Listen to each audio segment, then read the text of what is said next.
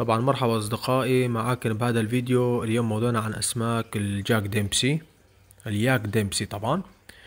آه هذا النوع من السمك من أجمل أنواع الأسماك اللي نربيها بالأحواض طبعا أسماك الزينة للمياه العذبة. آه شباب اللي ما له شغل بالأسماك وبالحيوانات يتفضل يطلع من الفيديو لأنه يعني هذا الموضوع عن أسماك الزينة فقط. ما في سياسة ما في نسوان ما في ولا شيء. المهم يا شباب بدنا نكمل. طبعا هذا النوع من السمك يا شباب آه، بيطلع تقريبا آه، يعني كل آه، فيني كل عشرين يوم أطلع دفعة فروخ منه. وبيكون يعني عدد الفروخ كتير كتير. أول مرة باضوا عندي كان العدد كتير قليل هالمرة كتير كتير. تقريبا 600 700 800 فرخ ما أقدر أعدن طبعا.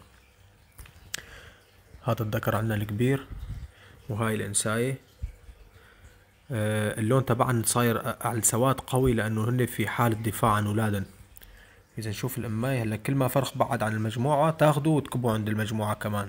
يعني عندهم طريقة وأسلوب لحماية الفروخ من هن بيض ولحتى يصيروا آه، بحجم تقريبا شي فينا نقول خمسة ستة ملي طبعا هذا النوع من السمك بيحط بيضه على الحجرة. طبعا كانوا بايضين على هاي الحجرة. وأول ما يفقسوا ثلاث أيام بدهم ليفقسوا البيض ثلاث أيام يفقسوا الإنسان تنقل البيض كلياته من موقع التفقيس لغير محل. تفتح فتحة بين الحجر يعني وتحط الفروخ تبعها. طبعا بعد ما فقسوا بدهم خمسة أيام لحتى يذبحوا. يبلشوا يذبحوا هلأ مثل ما هني طبعا. آه عندنا هون كمان هلأ إيش طعمين. عم طعمين هلأ صراصير دوبية للأم والأبو وهن بيرشوا فتافيت من الصراصير على الأولاد يعني. وعندي كمان باقي الأكلات التانيين المخصصة للأولاد الصغار طبعا يعني للفروخ.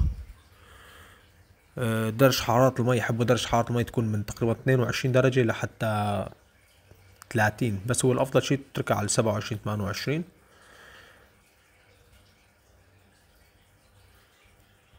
أسماك مو شرسين كتير طبعا ما شرسين كتير شي عادي يعني. بس أسماك صغيرة ما فيك تحط معاهن لأنه راح يقتلون. طبعا اسم السمك من على اسم الملاكم الأمريكي جاك ديمبسي. هاي المعلومة ما كنت أعرفها طبعا. فت على جوجل وشفت وبحثت وشفت إيش الموضوع طبعا تسموا على الاسم الملاكم لقوة شخصيتهم طبعا وقوة تحملهم وقوة